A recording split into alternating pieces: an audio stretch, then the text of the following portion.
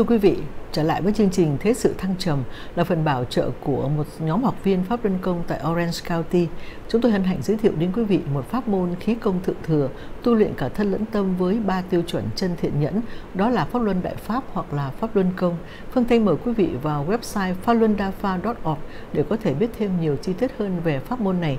Quý vị cũng có thể gọi cho Andy số điện thoại 714 401 7373 714 401 7373 nếu cần biết thêm chi tiết gì hơn nữa và Phương Thanh xin cảm ơn um, sự quan tâm của quý vị.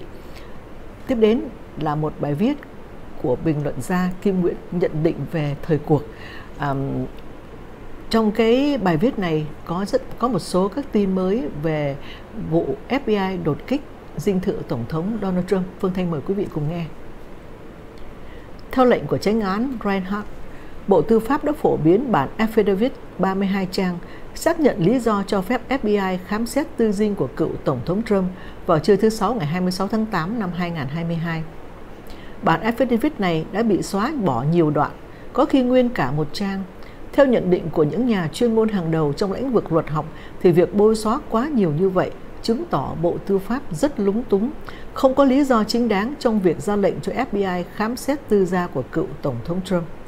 Giáo sư nổi tiếng Alan DeSois của trường luật Harvard cho biết Bộ trưởng Tư pháp Merrick Garland không có đủ yếu tố để truy tố cựu Tổng thống Donald Trump và rồi đây nhiều tranh tụng sẽ tiếp tục xảy ra.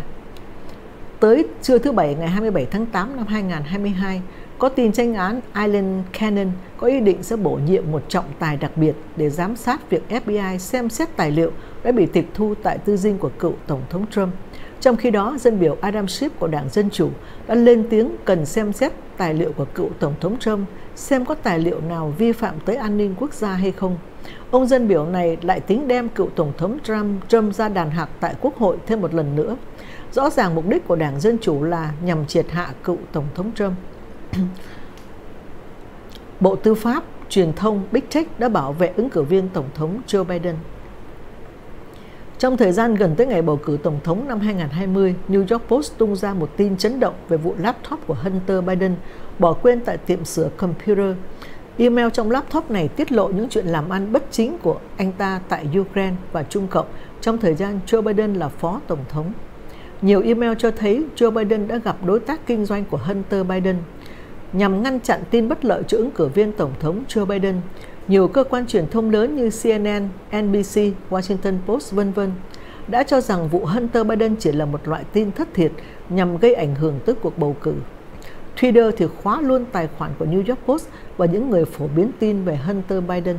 Còn Facebook thì ngăn chặn tin về Hunter Biden bằng cách dán nhãn fake news để đánh lừa dư luận quần chúng. Big Tech có khả năng ém nhẹm tin tức hoặc tạo tin tức theo ý muốn của mình. Kết quả thăm dò cho thấy 79% cử tri tin rằng họ đã không bỏ phiếu cho Joe Biden nếu trước ngày bầu cử họ biết được những việc làm tệ hại, tham nhũng của cha con Biden. Tới nay, sau gần 2 năm, trong chương trình phỏng vấn của Joe Rogan vào tối thứ Năm ngày 25 tháng 8 vừa qua, Mark Zuckerberg thừa nhận sau khi FBI tới thăm cơ sở Facebook, anh ta đã ra lệnh cho nhân viên ngăn chặn tin laptop của Hunter Biden. Khi Joe Rogan Xin lỗi quý vị, khi Joe Rogan hỏi thêm chi tiết thì Mark Zuckerberg nói, trong thời gian gần tới trước ngày bầu cử Tổng thống 2020, FBI đã tới gặp một số nhân viên Facebook và yêu cầu chúng tôi cần đề cao cảnh giác vì cũng như năm bầu cử 2016 trước đây, đã có nhiều tin tức tuyên truyền của Nga, những loại tin tương tự như vậy sẽ được tung ra và Facebook chúng tôi đã làm theo lời yêu cầu của FBI. Nhiều nhà lập pháp Cộng hòa đã lên tiếng chỉ trích việc làm của FBI Dân biểu Cộng hòa Jim Jordan, tiểu bang Ohio nói, trước đây FBI đã nói dối về vụ Nga can thiệp vào cuộc bầu cử và mới đây FBI đã đột nhập vào tư dinh của Tổng thống Trump và cũng chính FBI đã yêu cầu Facebook ngăn chặn tin của Hunter Biden. Breitbart News cho hay Thượng nghị sĩ Cộng hòa Ron Johnson, tiểu bang Wisconsin, đã nhận thêm nhiều tố cáo về những việc làm sai trái của FBI. Thứ ba ngày 23 tháng 8 vừa qua, Thượng nghị sĩ Johnson đã gửi thư cho giám đốc FBI là Christopher Wray yêu cầu một lời giải thích về việc FBI đã chủ trương không điều tra vụ Hunter Biden. Người tố cáo nói, cấp chỉ huy văn phòng FBI địa phương đã nói với nhân viên không cần điều tra và xem xét tin tức trong laptop của Hunter Biden. FBI đã có laptop của Hunter Biden từ tháng 12 năm 2019 nhưng đã không làm gì cả. Trước đây, Thượng nghị sĩ Chuck Grassley đã nhiều lần yêu cầu FBI điều tra Hunter Biden, nhưng FBI đã không thực hiện. Và mới tháng trước, sau khi nhận thêm tố cáo của 14 người, Thượng nghị sĩ Chuck Grassley đã gửi thơ cho FBI cáo buộc rằng FBI đã có nhiều việc làm dính líu tới chính trị. Đây là việc làm ngoài lĩnh vực cố hữu của FBI. Đã có nhiều sự việc bất thường xảy ra trong cuộc bầu cử Tổng thống năm 2020. Đảng Dân Chủ có 20 ứng cử viên ra tranh cử trong cuộc bầu cử Tổng thống năm 2020. Ứng cử viên Joe Biden đang có nguy cơ bị thua thì ông ta được Obama ủng hộ. Và trong suốt mùa tranh cử, Joe Biden đã dành nhiều thời gian trốn Covid tại nhà. Phóng viên Sugan Milligan của US News đã đưa ra câu hỏi Where's Joe Biden? Phóng viên này nói thật đáng lo ngại khi Joe Biden thường xuyên vắng mặt, không vận động tranh cử. Đành rằng ở nhà để tránh bị lây nhiễm coronavirus là lý do chính đáng, nhưng Joe Biden cũng cần phải gặp mặt cử tri. Nhiều người đã đặt câu hỏi tại sao ông ta đã không đi vận động tranh cử. Joe Biden đã trốn biệt ở nhà, vậy mà ông ta lại đắc cử. Thật là một sự kiện bất thường chưa từng xảy ra trong các cuộc vận động tranh cử tổng thống trước đây.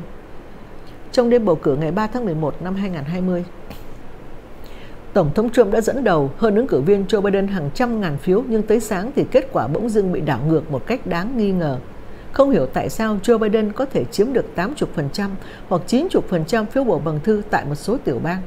Có nhiều chuyên viên toán học cho hay máy bỏ phiếu Dominion có thể điều chỉnh để thay đổi kết quả bầu cử và hệ thống máy Dominion đã được sử dụng trên 16 tiểu bang, trong đó có những tiểu bang then chốt ảnh hưởng tới kết quả bầu cử như Arizona, Michigan, Georgia, vân vân.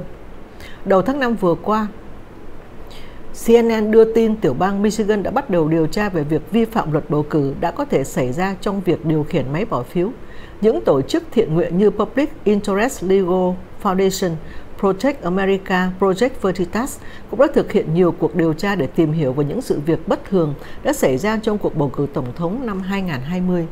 Sau một thời gian điều tra, tổ chức Public Interest Legal Foundation viết tắt là PILF đã khám phá ra danh sách cử tri của nhiều tiểu bang vẫn còn tên của những cử tri đã chết. Tệ nhất là nhiều cử tri đã chết hàng chục năm trước đó.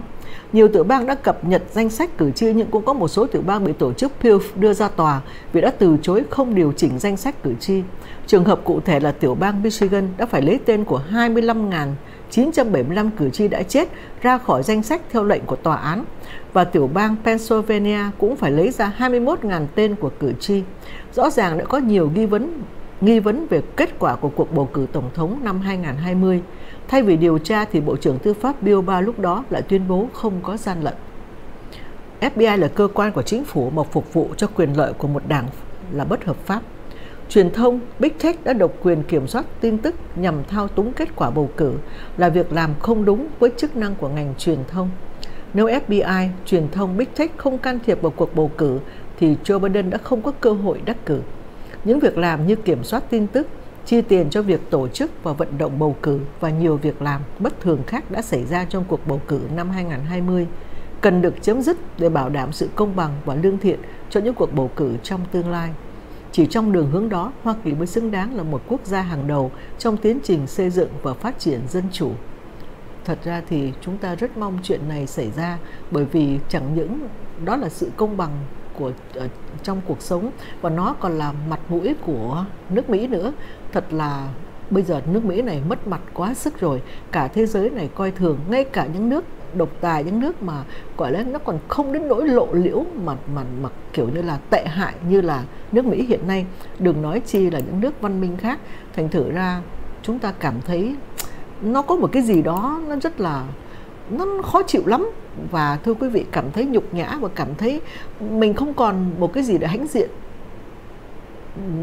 với các nước khác nữa. Ở trên trường quốc tế thì phải nói là nước Mỹ này bây giờ không còn uy tín là nó xuống xuống cấp quá sức rồi. Và thưa quý vị, một bản tin, Melania không lo lắng gì về cuộc đột kích của FBI vì Tổng thống Trump sẽ không bao giờ để đồ của mình trong phòng của bà ấy. Và thưa quý vị lâu lắm rồi chúng ta mới nghe tin về bệnh đệ nhất phu nhân, cựu đệ nhất phu nhân Melania Trump thưa quý vị, sau cuộc đột kích của FBI vào Mar-a-Lago, Donald Trump bảo đảm rằng ý kiến của ông ta đã được lắng nghe tuy nhiên, bà vợ của ông là Melania Trump gần như im lặng về toàn bộ sự việc và hiện tại, những người trong cuộc đang nói về phản ứng của bà trước sự việc này. Điều này có thể khiến một số người ngạc nhiên. Những người bạn thân thiết với cựu đệ nhất phu nhân mô tả là bà khó chịu trước tình huống này, trong khi một người khác nói thêm là bà ấy quan tâm nhưng không giống như ông ấy quan tâm.